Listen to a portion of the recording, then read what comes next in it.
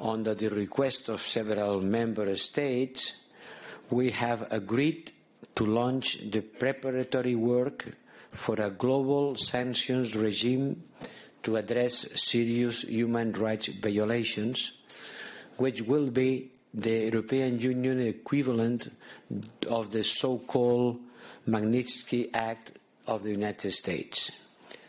I was asked for this issue in my presentation in the Parliament last week, and today we have decided, it was a strong consensus about it, to launch the preparatory work, and the European External Action Service will prepare the documentation for this in order to prepare the equivalent of this act. This will be a tangible step reaffirming the European Union global lead on global human rights. If there were opposition from any member state, then we wouldn't have decided to launch the process.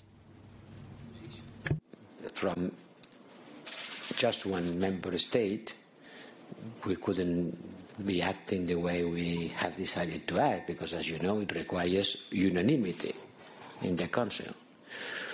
So mm, there is a strong consensus. Some member states who were opposing has abandoned the opposition and joined the broader consensus. Others still have some uh, collateral questions and some concerns. But uh, as chair of the council, I think I could consider that it was enough enough unanimity wouldn't say because unanimity there is or there is not. Uh, enough consensus in order to launch the technical process of preparing the, to address the relevant bodies of the council